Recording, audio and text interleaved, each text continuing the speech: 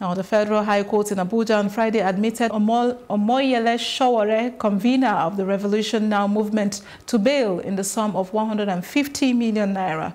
Sowore was charged to court by the federal government on seven counts charges of treasonable felony, cyber stalking, and money laundering. Justice Ijeoma Ojukwu also ordered Sowore to produce two sureties in like sum. The judge ordered that the sureties must be residents of Abuja with landed properties in Abuja worth the bail sum. She also said that the sureties' original title documents of the assets be, be deposited with the court. The judge also ordered him to deposit the sum of 50 million naira in the accounts of the court as security. She also granted his co-defendant Olawale Bakare 50 million naira bail with one surety. The judge further barred the two defendants from addressing any rally pending the conclusion of the trial. She also barred Sowore from traveling out of Abuja and the second defendant out of Oshogbo during the pendency of the trial.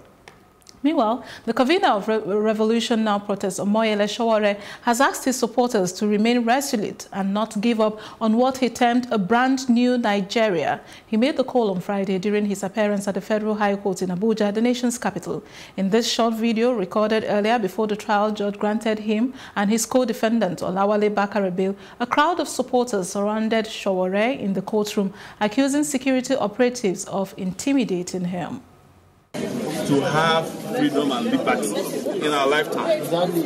It is about the future of this country. That is what we are fighting for. It's about the ability of our children to go to school that they deserve, or in the cell, or any office. Exactly. exactly. We can't continue like this. This country is not working for anybody, except a few of them in You know, you help to try and support Buhari, uh, Babangida. The man lost out. You did it with Abacha. He died. You did it, Adua. He died. You are supporting another, ty- you know, tyrant. And at the end of the day, we are going to have the same. All of us will go to the same market. Our children go to the same school. The mere fact that you have opportunities now to send your children elsewhere or because you have some literature doesn't mean that you should lose your mind. Guys, guys,